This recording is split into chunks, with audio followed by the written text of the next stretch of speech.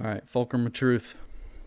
How you doing today? Pretty good. Pretty It's good. morning, morning Yeah. recording. yeah, new. Usually we're going uh, in the evening, so this will be the first time. Yeah. Um, today I wanted to talk about a topic that I, you know, we have the whiteboard of ideas, and you wrote one up there yesterday or the day before uh, that I'd just been itching to jump into because I don't, I don't think we've really even talked about it one on one. Not that much, not as much as we've discussed other other topics. But you wrote the word aliens up there. Yeah, I mean, I, I everybody is into aliens, and everybody has their own ideas about them, uh, speculating whether they exist or not. And uh, we actually just recently had the UFO up north, right? That they uh, that they shot down, or they that went down, and they weren't able to recover it. You said. Oh, yeah, they say they weren't able to recover it. Um, I don't know. I, I don't know how uh, conspiratorial I get into it, but um, I think that first first thing I want to do is like define what you mean by aliens, right? Because words mean things and different words mean different things to different people and we've talked about dependability of past knowledge and how words can mean different things uh, in the current lexicon. Uh, so what is what is your definition of an alien? And I'll share my definition of an alien, and and then we can proceed from there. I think. So you know, so everybody understands exactly what we're talking about when we say alien. Well, I mean, I think there's, uh, I think it's pretty pretty clear to most people, right? That the general definition being an alien is someone that uh, is a species or a, some type of being that comes from off planet, right? A real alien would be off planet. So anything that comes from another planet, another solar system, another galaxy, somewhere else in the universe that was to come here. Uh, I don't know if we would call an interdimensional being an alien per se. So I think that when we're talking about aliens right now, we're talking about aliens that are, uh, you know, off world. Okay, so you actually just created a third category. I was going to say I have two categories of alien that I can um, describe, and so the first, the most in the ma- most basic definition for me, it's a, a life form that originated not on Earth, Okay. uh, or it could be a life form that originated on Earth and left Earth. Okay. Okay. Um, that would still qualify as an alien for me. But within that, I have two categories, right? There's the um, bacteria or like virus or some sort of like primitive life form. Oh, okay. And then there is intelligent life, like an Yeah. extraterrestrial intelligence.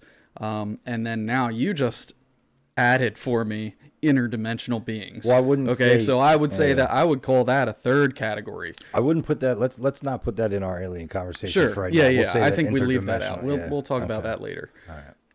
Um, but yeah, for me, there's right there's alien life, and then there's extraterrestrials, which are like an intelligent life outside of anywhere outside of Earth. Really, I I would consider a life form on Venus to be an alien. Yeah, I think I think that's a good point eh, to categorize them the way you did because uh, I didn't consider that before you said it. The idea eh, and and and to be honest which I do believe that out there we might find extremely microscopic life or, single cell organisms that might have sparked into existence that but, but go right out.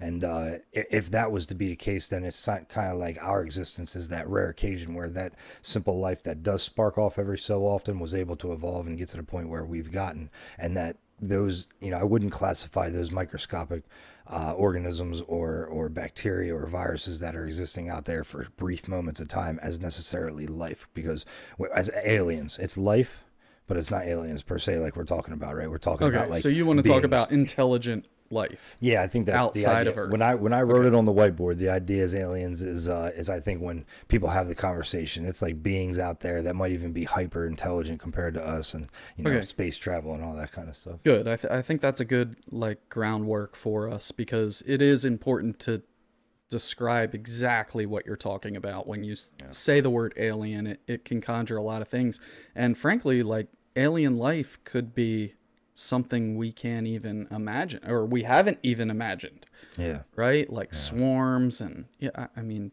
Well, sci-fi has written about a lot of different types of aliens.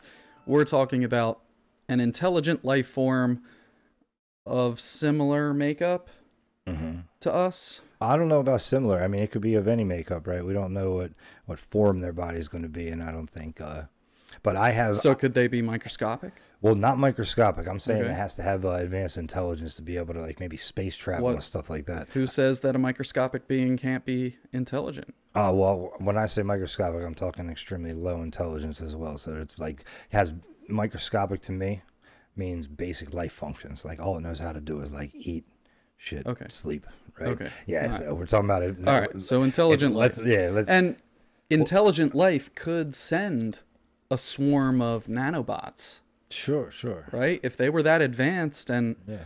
you know, knowing Well, or talking- thinking we know limitations about travel through the universe, Yeah. uh, it would make sense to um, transit the universe at, at a very small mass, right? So if, if you wanted to populate or explore another world, it would make sense to make a very low mass explorer. I right? would- An- I would a, beg to bu- a million nanobots. I would beg to differ because uh, due to, you know, from what we understand about space and there not being any resistance, right? It might not take more energy to move a large mass through space as it takes to move small mass mass. So if I'm going to move across, use the energy to move across space, I'm going to bring as much with me as I can. I'm, I'm pretty So- confident in F equals ma. Uh, Yeah. So if you have a bigger mass, you need you need more force. Well, but, it- but we'll, you know, we can dive. either way, that's that another subject, right? uh, so, but either way, I, I, my take on aliens, right, is it, I think is a very, um, it's a little bit of a uh, unique take on them, you know, and I think it's going to surprise you a little bit because, like you said, you I want to hear it. I don't Well, think. no, I want to. I want you to go Yeah. first because it is Oh, so you unique. want me to go yeah, first? so you go ahead and go first, and uh, and then after, yeah, you give your your uh, your belief in aliens, and then I'll uh, I'll give mine. Okay. Where I sit on aliens. We're either as defined, as we defined aliens, uh, an intelligent Mhm. life form. You know, it the immediate question is do you think aliens have visited us? And I think in all probability it's possible. Although I wouldn't say it's probable, and I would say the likelihood that it is currently going on is unlikely. Okay. My view is that possibly aliens did visit Earth at some point. Um, you know, you hear a lot of the the fringe science and and people, the ancient astronaut stuff and whatnot, and I think that it is entirely possible. I, I, I do see an incredible jump from primates to human. Uh, and that could have been engineered by an alien species, right? Okay. So if a alien species visited Earth 200,000 years ago or whenever whenever the human race uh, emerged on Earth, it I, I do think it's possible that the human race emerged as a result of genetic engineering by an intelligent life form from another area. They came here, engineered our DNA to make us more intelligent and conscious and, and aware and smarter. And then then they left for whatever reason, and maybe they'll come back. I don't see a whole lot of evidence uh, for a current visitation or op- they could be observing, right? And when you get into the idea of interdimensional beings, you know, they can hide, right? If they can hide in another dimension so that we don't see them and only appear when they need to interact, uh, it's possible. Like you, you hear a lot of abduction stories and, you know, UFO or I think they call them UAPs now, right? I mean, Yeah. they're really getting Well, you Um, actually, what you just said is interesting. I just watched a video yesterday about how uh, a guy was saying when we hunt or do research on animals that are less intelligent than us, we camouflage ourselves, right? We hide in the environment, we make it disguise ourselves so they don't know that we're there. So if there was a higher intelligent life form than us doing research on us or observing us, obviously they would hide in plain sight and make it so we couldn't see them, exactly like you were just saying. Yeah, exactly. When when you go out to hunt a deer, you don't do jumping jacks, right? You sit Yeah. still, Yeah. you well, you wear orange, but they're colorblind. But right, you know this. The you know that the deer is colorblind, so it doesn't Yeah. matter what color you're wearing. It's about being still and blending into the background and letting them just wander up to you, right? Yeah. And so, yeah, uh, a higher intelligence than us could do the same thing. Yeah. Absolutely.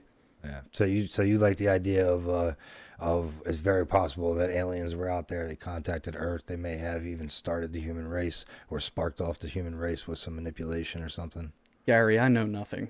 I hear I know ya. nothing. I hear you. I just wanted to come back I and think it's circle you I think it's possible. make sure. I think yeah. it's possible. Yeah. Um, I think the leap between primates and humans is significant uh, and possibly not natural.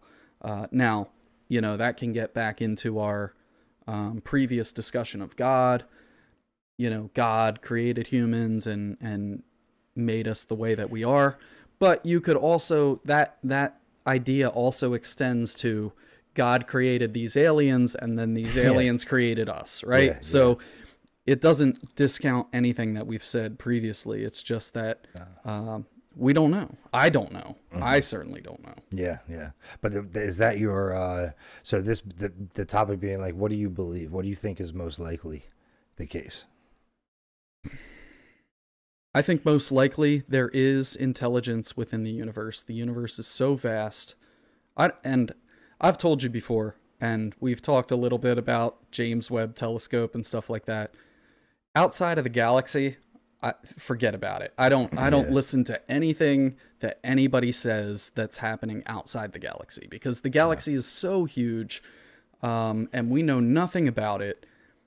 To be looking any further than that is is for me right now absurd. Um, someday maybe we'll get there and maybe we have some learnings, but for me, I think we need to look even just within our own solar system um, and then to our closest neighbor stars and things like that because we can't even take a picture of um, you know an asteroid properly Yeah. i just saw some photos just came up of oh we found this asteroid that whatever significance it had I, I don't even i wasn't impressed but there were photos of it and it i mean What could what they're like they're really- like a 1999 cell phone picture what could you really right? learn from it? right? exactly It's- what, what it's- what are you what what are you really saying here Well, I, I it's funny you say that too. I just watched another video about um Venus. It was a long documentary I went to sleep to the other night about how the um finally sent probes into Venus and did some research, some actual tangible research on it. And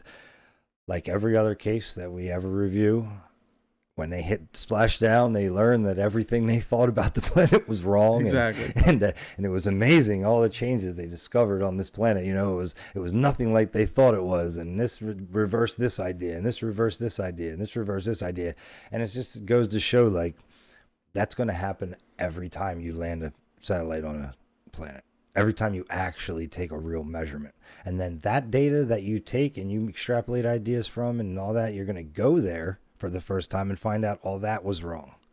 You know what I mean? Like it's just a it's an evolution of learning, you know what I mean? And and to to ever think that we're in the point at which we do know is just so naive, you know? It's, there's always going to be another step of learning. Yeah, and that that actually, you know, reminds me of one of my favorite things to chuckle about, and I've told you about it before that um I think it was a Netflix documentary on flat earthers and you know, it gets dismissed as these people are quacks and crazy and I don't believe the earth is flat. Uh, but at the end of that documentary, they do they do this laser test where they say like, "Oh, if the earth is flat, we're going to be able to we're going to be able to see this laser." They have a big like it's basically poster board. It's so cheap um, on a stick, and they hold it up and they're like, "If the earth is flat, the laser beam is going to hit on on here, and we're going to be able to see it." And they do the test, and um, it's the very end of the documentary. They do the test, and the laser doesn't hit the thing, and they say, "Oh well, if the Earth is round, then the laser should hit like six feet up in the air." And so they raise it up six feet up in the air, and the laser blasts right on it. Yeah, I remember. And I'm just like, it's hilarious. Yeah, yeah. Uh, but and and it's it's put out there as oh these people are crazy, but the reality is that real science is like that, right? Where you are just shocked, like, huh, I didn't expect that result. Yeah, yeah. You're right. You're right. But it's funny. They uh, so we don't know. I mean, we'll continue to learn about aliens too in the same way. You know, whatever these all these UFOs we hear, you know, hear about on Earth and everything. Yeah. Yeah, I don't know what to make of UFOs. Um, oh, I do. All right, let's hear it. All right, so that's what I was surprised you didn't tie in. So one time, many times in conversations about aliens, people don't tie in the UFO phenomena, right? You say, "Do you believe in extraterrestrials? Do you believe in alien life?" And they go and say it just like you did. They have some explanation or some slice of the variation of what they believe. Uh, but mine accounts for the UFOs, you know. Okay. And one of the things about the UFOs that's really peculiar and I use that word because I'm trying to practice using it. It's very hard to say. Peculiar um, is that is that uh, they never get seen zooming in from outer space or zooming out to outer space. Okay, they always get seen going into the water and coming out of the water. So my true belief on aliens is that rather than there being extraterrestrial life outside of Earth, there's extra actually interterrestrial life and there is aliens that live beneath the oceans. So, if there was an ancient civilization that had gained the ability to live under the oceans or underground much better than we do, right? This would protect them from earthquakes, tsunamis, solar flares, uh, hurricanes, tornadoes, any type of natural event that was an extinction event that occurred on the surface of the earth wouldn't be able to touch them necessarily if they were protecting themselves under the earth correctly. Okay. Now, this would also be hard for us to discover because we do not map and explore the bottoms of the oceans really when it's only 10 kilometers down from the surface, right? It's not very far at all for life to go down there. It's not, but to us, and this this reveals like our infancy in scientific uh, development, that for us, 10 kilometers down in the ocean is really challenging. Yeah, right. Uh, we do it. We've mm-hmm. gone to the depths of the ocean, but man, yeah, exploring it and trying to put a life form down there is just yeah. seems out of reach for us right now. Yeah, so it would be very easy for a civilization to hide down there from us per se if they if they were able to survive down there and you look back across the you know the civilizations that have been on earth we've seen ancient technologies that are advanced right so it's not as hard to say that maybe they didn't survive in some way, right? Through cataclysmic events that would have taken out all of the surface to the point where they stayed down there until the earth began to get to the point that life could come back on the surface. And when by the time life does come back on the surface, they decide we don't want to go up there. You know, like it's too dangerous up there. We don't know what's up there or unable to survive up here, right? It could be like space to them because they've been down there so long, surviving on that for so long. They evolved their bodies, right? To the pressures, everything. If you take a fish from the bottom of the ocean and bring it up to the surface, right, this thing dies. It, it bloats up, explodes, and can't survive. So if you were to bring any type of life form from down there and bring it up without a special capsule like they you might see, uh, they wouldn't be able to survive in our in our pressures. So that's one thing, right? Now, the UFOs we see diving in and out of the water, that could easily be their craft. You know, easily be their their their their uh, ability to come and check us out and where we see them go, uh, it would just it would it would it would uh, explain that, as well as I believe you said something about that UFO they couldn't find that just went down. I don't. Yeah. First of all, the media. I, I know. Just I know. Yeah. give me a break, right? Uh, like they're they're writing articles that people yeah. want to read, and you know, they're that's marketing. They're selling something. I don't. Not that there aren't unbiased uh, reporting out there, but I take everything from the media with a grain of salt. Yeah. Um, but they shot down these balloons or other objects recently, right? They, you know, we had the Chinese balloon at least that's what it's sold to us as. Mm. Um, and then there were three others. I, I think it was three others, maybe two others. Um, but yeah, all of them got shot down over bodies of water, and all of them they have kind of walked back and said, "Oh, it's a difficult area to recover." Oh yeah, one one was off the coast of Alaska, one was up in like the Canadian tundra, and one was in one of the Great Lakes. And all of them, the report was, "Oh, don't expect any findings anytime soon. These are very difficult places to recover." Like, come on, the Great Lake is not that deep. Um, we we've been down to the Titanic. Like, you can't you're going to tell me you can't get to the bottom of the Great That's Lake media, like and find said. this thing, Yeah, right? yeah, we well, know. these are the reports from the government, and Mm. even the government. I, I just take what they say with a grain of salt. You can't, you know, obviously, maybe they don't know, uh, and maybe that's their motivation. Like, hey, we don't know. Like, we should probably figure out what's going on first, just in case it is something. We don't want to have like a live television special where we raise this thing to the surface and it's an alien ship. People are going to go crazy. Um, I, even though I think that's very unlikely. Uh, or, you know, as you suggested, if, if there is an alien, sil- uh, not they wouldn't be alien uh, under Yeah, my definition. They wouldn't be That's alien. another thing. Yeah, if I, I they need lived- to clarify that. So, by by my Oh. definition of what we think aliens are and what I believe aliens to be, I do believe that there are not extraterrestrial aliens. I do not believe there's life off of Earth. I do believe that Earth- Anywhere. yeah, no, I do not believe. Yeah, so so the my whole universe, the whole galaxy. You think we're we're the only life? Yeah, but that's that much a lot to do with my beliefs with God, but also my beliefs in we're not seeing what we believe we see out there. You Oh, know, I- that- I fully, fully so agree. When you know, uh, That's I, why I say like Yeah. looking outside of the galaxy. I think is just Yeah, I don't- not. I don't have enough belief in the infinite space of the universe to believe in a chance for life because of infinite. You know, like the the infinite nature of the universe, I believe, is not a spatial infinite.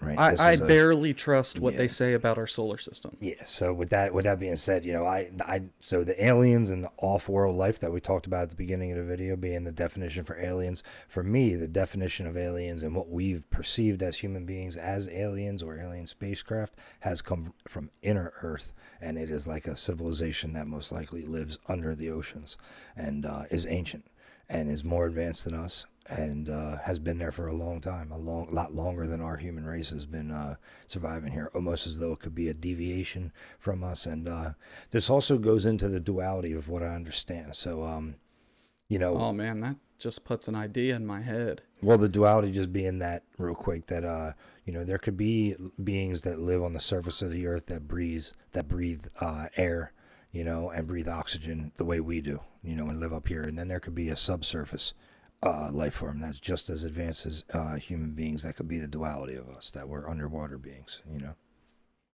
Yeah, that that just put an idea in my head that I've never really thought about, but it would be a lot easier to build that Great Pyramid underwater. if you were 10 kilometers underwater and had all that buoyancy, you could move those rocks a lot easier. And we know, or we think we know, that the crust on the earth moves, or that we do say certain, I think the Sahara is said to be like a former ocean. Eh, so, if you built this pyramid underwater, it would be a heck of a lot easier than building it on land. That is a And then it moves, and now it's not underwater and it's left. And then, you know, well, as the water recedes, as the, as the levels of the water go down, you're left with this pyramid sitting on the bottom of what used the to water be an doesn't ocean. really go down. The earth, the crust just smooths and no, no, becomes. no, absolutely. Either water way, goes either down. way, yeah, yeah either way. If it was, uh, if the Earth was flooded for a long time and there was a lot more water, right? Water evaporates, right? We don't know what the Earth used to be Yeah, like. I, well, I- I can only go by, you know, scientific evidence, and the reality is our in the range of temperatures that have been that they think have been experienced on Earth, we're kind of in the middle. It's been much hotter Yeah, and it's been much colder. Um, and when I say much, that might only be, I don't know, five degrees Celsius or something. But but that's a significant change when you're talking about right around the freezing point of water, right? If you're talking about zero Celsius, negative five, and plus five, that's a major difference in water levels. Well, not just Earth. that. I mean, Yeah. I'd be curious to find out how high above sea level the pyramids are in Giza. You oh, know? I don't think very high. Yeah. So I mean, how high would the water level have to go to cover? I the mean, there at least Giza is relatively close to the Mediterranean, right? Yeah. Within a couple hundred miles. So I don't think it's a huge elevation. I, I'd be surprised if it's more than five thousand feet Yeah. above sea level. Now, just to just to clarify for everybody watching, you know, this is the way we talk, and it's uh, you can you can see it's a little far, it's far reaching, you know, to talk about the pyramids being built underwater, you know, without oh, we've ne- much, and we've never Yeah. talked about this before. Yeah. This is just totally us. and we and we, and we haven't done much Yeah. research on it, right? But this is something that we would keep in our mind as just like a catalog card of all right, here was an idea that we had, and if there's any other evidence we ever see throughout our time of doing research that somehow parallels this, we might add it to that card and be like, all right, and start filling out that card. It may turn into a real theory over time while we do research, or it may not and get completely thrown out because we've seen nothing but evidence contrary to it. But being able to have these ideas outside the box and being able to talk about these things freely without having the constraints of uh, judgment from academia or being thrown out because this is what you're researching today, I think that's like a main point of being able to do science in a way that reveals the things that we haven't discovered yet. And uh, and I just wanted to clarify clarify that for everybody. Like, uh, you know, it's not that we believe these things; it's just that we're willing to talk about them and, and entertain the idea of it. Yeah, exactly. And it's we really clicked on something here because my mind is just working. I can see, okay, if we have an ancient uh, life form here on Earth that lives underwater, which we know we've. I, I'm pretty sure we've explored the surface of the moon more than we've explored the bottom of the ocean. Yeah. Um, I'll go out on a limb and say we have. Mhm. Uh, even the backside of the moon, I think we've sent probes and photoed it and things like that. So uh, we have places here on Earth that are completely unexplored. And if there was a civilization down there, an ancient civilization, maybe they still exist, maybe they don't still exist. But we do believe life emerged from water. That's that's the current scientific theory, right? And Yeah. tide pools and and life emerged there, so it makes sense that it could develop there. This is that ties directly into where the theory came from for me is that uh, life would have evolved in the water. So uh, you make me kind of flash back to the research I was doing, and what they talk about is how the the uh, surface of the Earth was uninhabitable at first.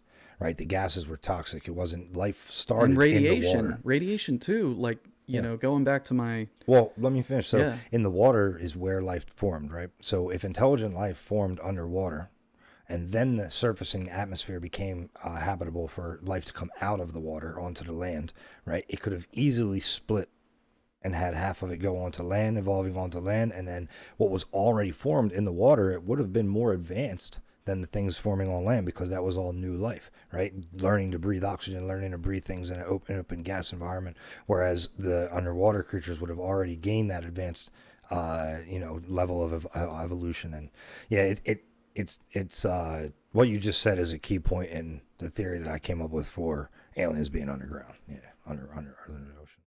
Yeah, and the idea of advanced life developing underwater makes sense. Um, going back to my, you know, nuclear experience, and I don't, I don't remember exactly, and we can kind of look it up. But there, there's certain materials we use to shield um, people from the radiation created in the reactor, right? Um, one of those is lead. Lead is a good shield. Um, boron is a good shield water is one of the best mhm. shields and then we try to use steel but it's kind of like one inch of lead and don't quote me on this because i don't remember the numbers but one inch of lead is equivalent to like two inches of water is equivalent to like a foot of steel mm-hmm. okay? So water is actually a very good shield for you know some types of radiation and if you are in an uninhabitable environment, whether it's because the gases are poisonous or radiation from the sun, Mhm. right? We don't.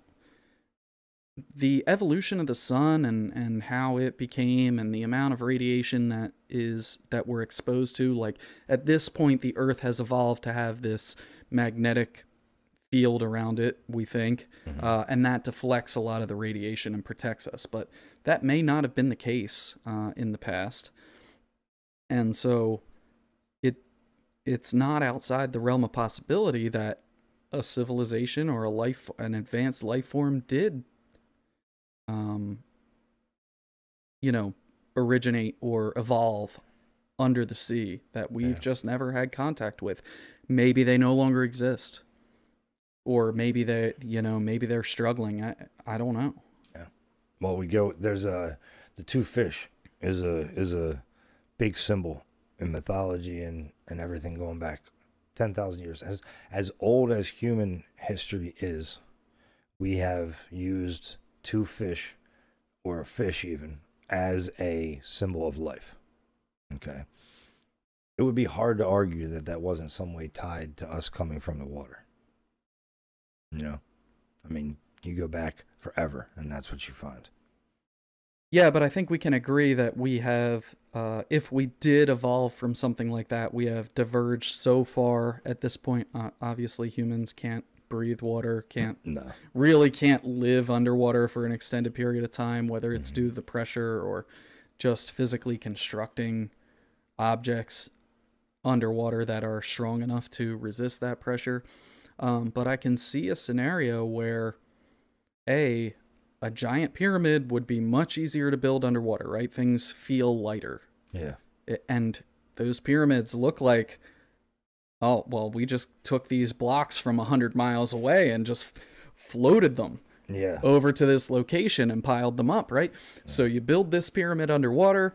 Over millions of years, the water recedes, and now the pyramid is on the ground. Now Yeah. you have this terrestrial life form come by and say, "Wow, what is We what is just- that thing? The gods must have sent this Oh, to brother. us." So, so, so this is going to be a great. So this is uh this is our conversations. This is a perfect example. So we're about to end our conversation. We're about thirty minutes in, right? And as we're talking about building pyramids underwater and floating heavy stones and all that, immediately my mind jumps to other research we've done, like, you know, that the uh, Incas and the pyramids they built in the Right. mountains Yes, yes. the water probably was not that high. that's that's much higher up in the mountains.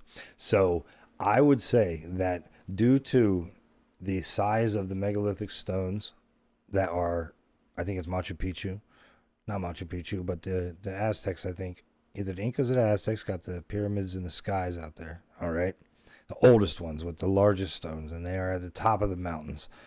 Are think- those are those the oldest ones? Yeah, That's what they say. they Okay. were they they were not. I don't think they were floated up there, and I don't think that was underwater. Okay. So Uh, I mean, maybe, maybe not. Yeah. I, I I'm just spitballing here. no, I know, and, I was and- and I and it was fun, right? It's like this is how we talk, but I think that that would be my. uh you know, we talked about this catalog card, right? Now I need to write. All right, well, I'm got, I'm gonna stop you right here for a Alright. second because modern science. How how do we think mountains form? oh man, How do we think mountains I form? I don't know. We might have to leave Okay. this one. We, this Mountains is a, we think mountains form because plates on the earth come together and then they push up. Yeah. Okay? Mm-hmm. So just because it's up on the top of a mountain right now doesn't mean it was on the top of a mountain. yes, it does. It's perfectly placed. There's Okay, you can't fit a fair enough. You can't put a piece of. I'm gonna finish my thought. Due to the fact that you cannot put a piece of paper between the stones sitting at the top of this mountain, I'm gonna say it probably did not get up there from plates hitting each other and pushing each other a thousand feet over the Fair sky. enough. All right. and on that note, we're gonna end it for today. I hope you enjoyed it. It was a great talk about aliens and uh, and some other cool things for sure. yeah, man. Thanks. I really enjoyed it. All right. See you guys Subscribe, like, leave a comment. Yeah, we'll see you guys later. Yep. Bye. that was great. No, that was good at the end, right? It like it turned fucking comical. Oh my god.